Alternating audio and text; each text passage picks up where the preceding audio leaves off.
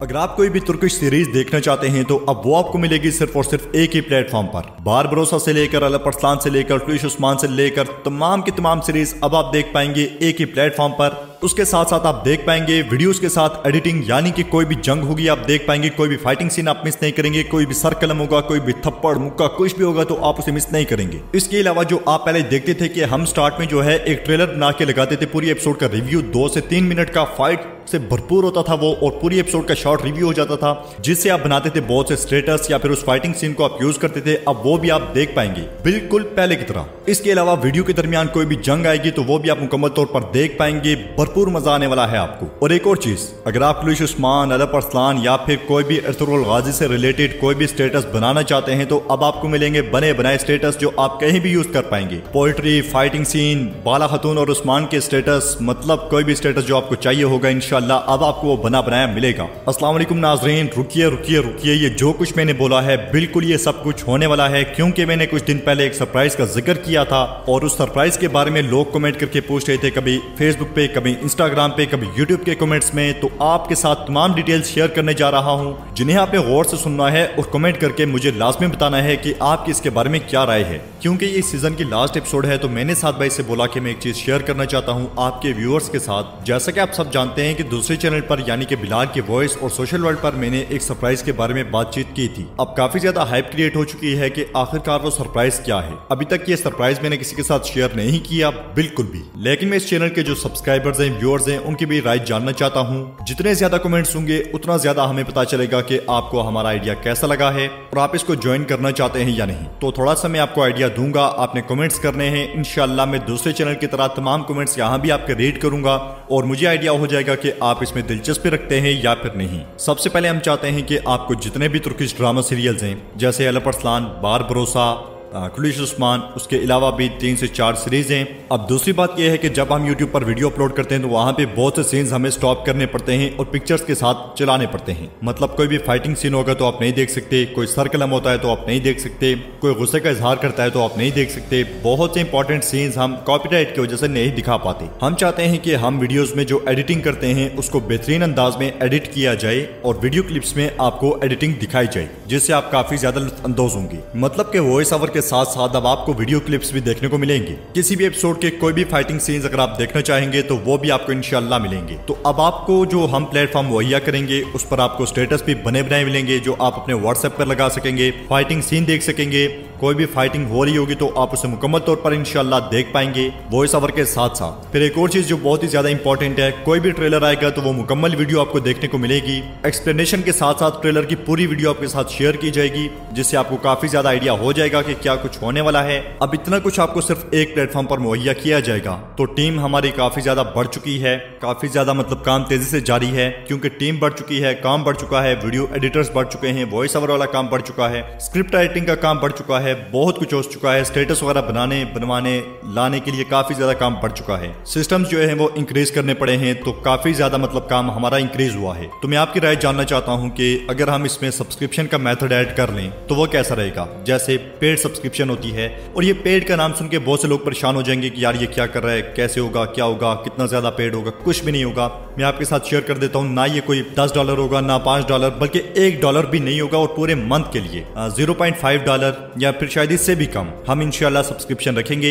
Indian मेरे ख्याल से कोई थर्टी फाइव रुपीज़ होंगे या फोर्टी रुपीज़ पूरे मंथ के लिए, और इसी तरह पाकिस्तानी भी कोई नाइन्टी रुपीज़ या हंड्रेड रुपीज़ में ये ट्रांसफ़र हो जाएँगे कन्वर्ट हो जाएँगे डॉलर्स ठीक है? तो आपने कमेंट करके लाजमी बताना है कि क्या ये सब्सक्रिप्शन ज़्यादा तो नहीं होगी। मैं आपके कमेंट्स का इंतज़ार करूँगा कि क्या आप आसानी के साथ पूरे मंथ के लिए, जिसमें आपको तकरीबन 100 के करीब करीब वीडियोस मिलेंगी तो क्या आप 30 40 रुपए या 50 रुपए दे पाएँगे या फिर नहीं? कमेंट करके लास्ट में बताइएगा। तो ये था पूरे का पूरा इस सरप्राइज़ का सीन ये सबसे कम सब्सक्रिप्शन रखी है। ना दस डॉलर है, ना पाँच डॉलर एक डॉलर भी नहीं है, एक डॉलर से भी कम ज़ीरो पॉइंट फाइव या इससे भी कम। तो मुझे आपने कमेंट करके लाजमी बताना है, मैं आपके कमेंट्स का इंतज़ार करूँगा। तो चलिए, अब चलते हैं साथ भाई की तरफ़, जो आपको एपिसोड एक्सप्लेन करेंगे इस सीज़न की लास्ट एपिसोड नाजरीन, इस किस्त के शुरू में आप देखेंगे, फिरोजपुर के सहन में शहजादे अलब अरसलान और सलीमान बजंतनी सिपाहियों को बेदर्दी से कत्ल कर रहे होते हैं। बेशुमार बजंतनी सिपाही सलजूकी तलवारों का निशाना बन जाते हैं। शहजादे अलब अरसलान के साथी भी तेज़ी के साथ बजंतनी सिपाहियों को काट रहे होते हैं और अक्चा खतून भी बजंतनी सिपाहियों को जहनुम वासिल करते ही चली जाती है। बजंतनी सिपाही किले को बचाने के लिए सर दड़ की बाजी लगा देते हैं, मगर सलजूकी लश्कर उनकी एक नहीं चलने देता और उनकी लाशों के अंबार लगाता ही चला जाता है। बजंतनी सिपाही किले के अंदर हसन साहब को एक ऐसे कमरे में जाकर बाँध देते हैं जहाँ से किले का सहन वाजे तौर पर नज़र आ रहा होता है। हसन साहब को बांधने के बाद एक बजंतनी सिपाही आगे बढ़कर कहता है, हसन, अब तुम अपनी बेटी की मौत देख सकते हो। ये सुनकर हसन साहब उसके मुँह पर एक जोरदार टक्कर दे मरते और बजंतनी सिपाही भी उन पर तशद करते हुए उन्हें बांधने लग जाते हैं। बाहर सहन में बजंतनी फौज का दबाव कम होते ही अलब अरसलान और सलीमान अपने साथियों के साथ वसपुराकान की गलियों में दाखिल हो जाते हैं। सलजोकी शिदादू की तलवारें बजंतनियों के लिए मौत का पैगाम बन जाती है, मगर इसके बावजूद बजंतनी फौज हार मानने के लिए तैयार नहीं होती और पूरी कुत के साथ सलजोकी लश्कर का मुकाबला जारी रखती दूसरी जानब से फरजाद एक सलजोकी दस्ते की क्यादत करते हुए वसपुराकान की गलियों की जानब बढ़ता है, मगर इसी दौरान सामने से गिरने वाला दरवाज़ा उनका रास्ता रोक देता है। फरजाद जैसे ही दरवाज़ा खोलने लगता है, सामने से आने वाले बजंतनी सिपाही अपने नेजे फरजाद के पेट में घूम देते हैं। ये देखकर वहाँ आने वाले सुलेमान और अलब अरसलान बजंतनी सिपाहियों को मौत के घाट उतार देते और फरजाद जख्मों की ताब न लाते हुए ज़मीन पे गिर जाता है। ये देखकर अलब अरसलान फरजाद फरजाद फरजाद पुकारने लग जाते हैं, मगर फरजाद को जवाब दिए बगैर अपनी आँखें बंद कर लेता है। ये देखकर अलब अरसलान और सुलेमान बजंतनी सिपाहियों पे टूट पड़ते हैं और बजंतनी सिपाहियों को सफाया करते करते किले की दीवार तक जा पहुँचते हैं। शिदादे अलब अरसलान की दीवार पर चढ़ते ही वहाँ मौजूद बजंतनी सिपाहियों का भी सफाया शुरू हो जाता है। सहन में मौजूद अक्चा खतून और अलब अरसलान के साथी बेदर्दी के साथ बजंतनी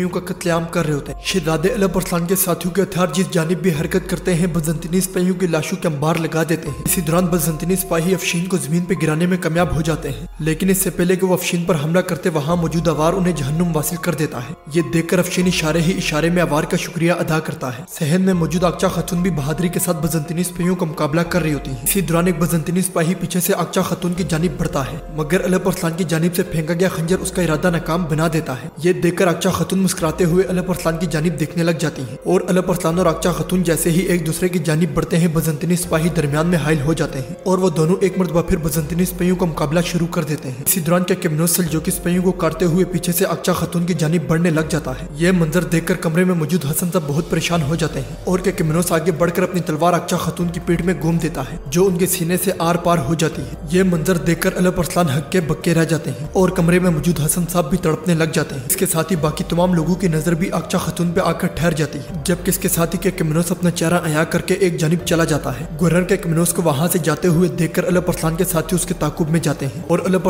आगे बढ़कर अक्चा खतून को गिरने से बचा लेते हैं। बजंतनी सिपाहियों को अलब के साथियों के रास्ते में हाइल देखकर सुलेमान शदीद गुस्से में आगे बढ़ता है और बजंतनी सिपाहियों के साथ चिरते हुए के किमनोस को काबू कर लेता है। शहजादे अलब अरसलान खतून से कहते हैं, अभी नहीं अक्चा अभी नहीं। फिर गरजते हुए कहते हैं, सिपाहियों, करारगाह में फौरी तौर पर खबर भेजो, तबीब को बुला कर लाओ। इसके साथ ही अलब के साथी और सुलेमान के किमनोस को पकड़कर वहाँ लाते हैं। ये मंजर देखकर कमरे में मौजूद हसन सब जंजीरें तोड़ने की कोशिश में लग जाते हैं। नीचे सहन में अलब अरसलान अक्चा खतून से कहते हैं, मेरी आँखों के नूर अक्चा में इल्तिजा करता हूँ, ऐसे मत जाओ। और अक्चा खतून अपने पास मौजूद सलजूकी परचम निकाल कर कहती है, मेरा काम मुकम्मल हुआ अलब अरसलान बस पुरकान अब हमारा है। जवाबन अलब अरसलान रोते हुए कहते हैं, हमारे पास है, हमारे पास है अक्चा ये सुनकर अक्चा खतून आसमान की जानब देखने लग जाती हैं और मुस्कुराते हुए कहती हैं, शादी की तैयारियाँ शुरू हो गई हैं अलब अरसलान ये कहते साथ ही अक्चा खतून उस लम्हे को याद करती हैं जब पहली मरतबा उन्होंने अलब अरसलान को देखा था और फिर एक एक करके अलब अरसलान के साथ गुजारे तमाम लम्हात को याद करने लग जाती है। जब कबीले में जख्मी होने पर अलब अरसलान उन्हें उठाकर एक जानब ले गए थे, जब उन्होंने कबीले में अलब अरसलान के साथ रक्स किया था, जब वो खुशी खुशी अलब अरसलान को कबीले से रवाना किया करती थी, जब उन्होंने अपने और अलब अरसलान के लिए तवीज बनाया था, जब वो अकने वालदा के खेमे के सामने खड़े होकर मुस्कुराते हुए अलब अरसलान को देखा करती थी। जब उनके और अलब अरसलान के दरमियान रिश्ता तय पाया था, ये ख्याल आते ही अक्चा खतून शदीद तकलीफ़ में होने के बावजूद आसमान की जानब देखकर मुस्कुराने लग जाती हैं और अलब अरसलान तड़पते हुए कहते हैं, खुदा के लिए मेरी तरफ़ देखो अक्चा बराई करम अपनी आँखें बंद ना करो। इसके साथ ही अक्चा खतून की नज़रें एक जगह ठहर जाती है और उनके मुँह से बेसख्ता निकलता है।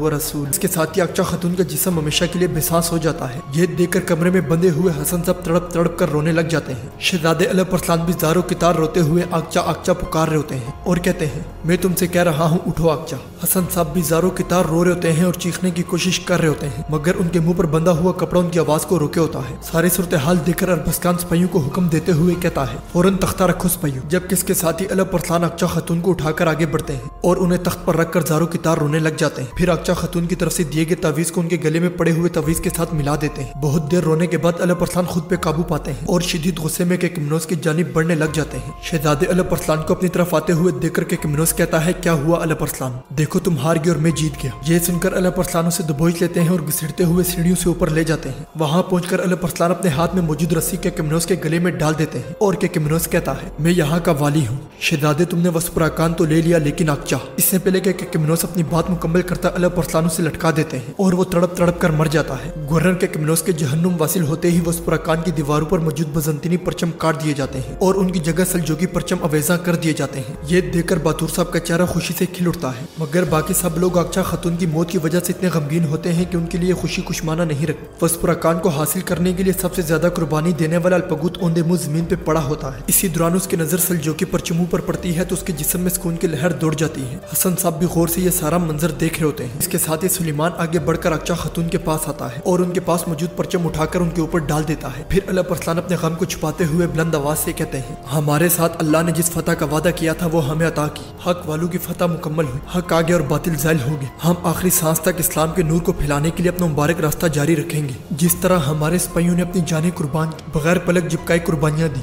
वो कल भी मजीद फतुहात के लिए शहादत की तरफ़ इसी तरह दौड़ेंगे। बगैर किसी हिचकिचाहट के एक लम्हे में अपनी जानें दे देंगे। जो शहीद हो गए वो मरे नहीं, क्योंकि वो अल्लाह की राह में शहीद हुए हैं। ये कहते साथी अल्लाह परसलान अक्चा खतून को देखने लग जाते हैं और बुलंद आवाज़ से कहते हैं, उन्हें मुर्दा ना समझो, बल्कि वो अपने अल्लाह के पास ज़िंदा है, जिन्हें रिस्क पहुँचाया जाता है। नाजरीन, ये सुरह आल इमरान के रुकू नंबर सत्रह, आयत नंबर एक सौ उनहत्तर का तर्जुमा है। शहजादे अल परसलान मजीद कहते हैं, फतेह आशकान हक तुर्कू की है। ये कहते साथ, अल परसलान अपनी तलवार बेनियाम करके अल्लाह अकबर अल्लाह अकबर की सदा बुलंद करते हैं और पूरा वसपुराकान अल्लाह अकबर अल्लाह अकबर की सदाओं से गूंज उठता है। किले के अंदरूनी हिस्से में पड़ा हुआ अल्पगूद भी ये सुनकर अल्लाह अकबर अल्लाह अकबर पुकारता है और इसके साथ ही उसका सर ज़मीन पे जा लगता है। जबकि अल्लाह परसलान के साथी मुसलसल अल्लाह अकबर अल्लाह अकबर की सदाएँ लगा रहे होते। हैं नाजरीन, यूँ इस तरह आज के एपिसोड का अख्ताम होता है। हसन साहब के साथ क्या होगा? अक्चा खतून की वफात के बाद अल्लाह परसलान की शादी किसके साथ होगी? और क्या अल्पगूद बच जाएगा या मर जाएगा? ये सब जानने के लिए अगली एपिसोड ज़रूर देखें, जो कि सीज़न टू की पहली एपिसोड है और वो इनशाला कल ही अपलोड की जाएगी।